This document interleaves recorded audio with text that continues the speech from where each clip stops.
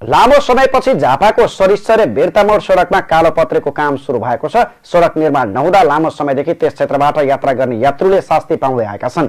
सबैभन्दा जीर्ण रहेको खण्ड दासपुलदेखि कप्तानबारीसम्म कालो पत्रे सुरु भएको हो। राजकुमार ओलीको रिपोर्ट। निर्माण कम्पनीले मङ्गलबारसम्ममा डेढ किलोमिटरको त्यस खण्ड पूरा गर्ने आश्वासन दिएको। अर्जुनधारा नगरपालिकाका नगर प्रमुख बलदेव सिंह गोमदेनले जानकारी दिनुभएको छ। नगरपालिकाको क्षेत्राधिकारभित्र नपर्ने भए पनि स्थानीयको गुनासो सम्बोधन भएकोमा उहाँले आफूलाई ठूलो सन्तुष्टि मिलेको प्रतिक्रिया दिनुभएको छ।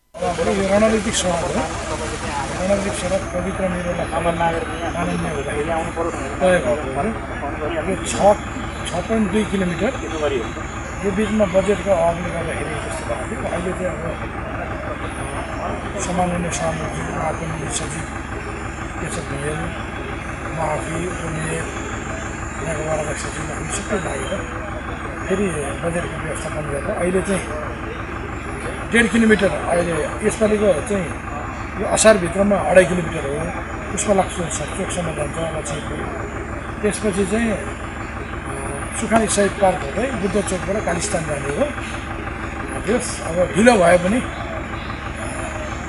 यसपालिदेखि काम हुन्छ सडक निर्माण गर्नका लागि प्रवीण मैनाचुली शान्ति जेबीले ठेक्का पाएको थियो।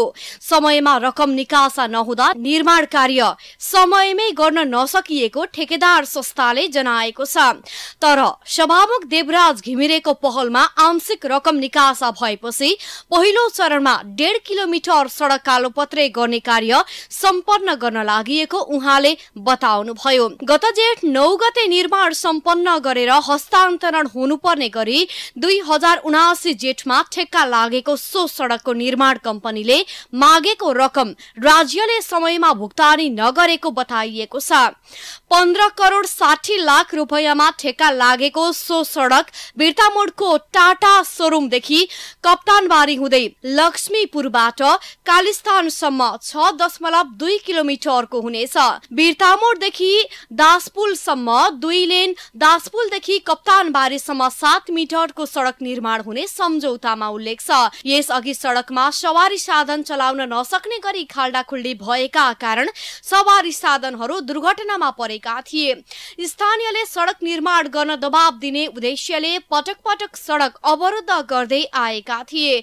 सडक अवरुद्ध भएपछि सवारी साधनले लामो समयदेखि वैकल्पिक सडक प्रयोग गरिरहेका छन्। सडक कालोपत्रे गर्ने कार्य सुरु भएसँगै स्थानीयवासी पनि हर्ष विकसित भएका छन्। बाटो राम्रो बन्यो विकास भयो धेरै राम्रो भयो नि पहिला अहिले प्रस्तुत हुँदैछ। यहाँ बाहिरबाट आउने एउटा देशैको यो यो नेपाल राज्यको एउटा पूर्वमा पशुपति भनेर अर्जुनधारा धाम जलेश्वर धाम भन्ने ठाउँ भएको यो पाँच कि बिर्तामोडदेखि त्यो अर्जुनधारा धामसम्मको पाँच किलो बाटो आजभन्दा बिस वर्ष अगाडि बनिनु पर्ने पच्चिस वर्ष अगाडि बनिनु पर्ने त्यसमाथि पनि अहिले यो थालेको चार महिना पा पाँच महिना बितिसक्यो। अहिले यो अवस्थामा छोडेर यहाँको बाटोमा बसेका बासिन्दाहरूलाई सबैलाई रोगी बनाए सबै असहज भयो। स्कुले केटाकेटीहरूलाई यो घामोमा एक किलोमिटर गरेर पुऱ्याउनु एक किलोमिटर गरेर ल्याउनु पर्ने गुणस्तर बाटो हुनु पर्यो। फेरि यहाँको छेउछाउकोहरूले सधैँ फेरि त्यो धुलो खानु ऊ नबनोस् वातावरण नबनोस्। धुलो खानु नपरोस्। त्यति मेरो सडक निर्माण नहुँदा सवारी साधन उक्त बाटोमा गुड्दा सडक आसपास रहेका स्थानीय धुलै मुलै हुने गरेका थिए। त्यस्तै सडक आसपासका घर पसल साथै पैदल यात्री अटो मोटरसाइकल साइकल लगायतका सवारी साधनमा समेत हिन्डुल गर्न धुलोका कारण समस्या हुने गरेको स्थानीयवासीहरूको भनाइ छ। आफूहरूले लामो समयसम्म धुलो र फोहोर खाँदै आएको भए पनि अबका दिनमा सहजता हुने आशा पलाएको स्थानीयवासीहरूको भनाइ छ। हिमशिखर टेलिभिजनका लागि बिर्तामोडबाट राजकुमार ओलीको रिपोर्ट।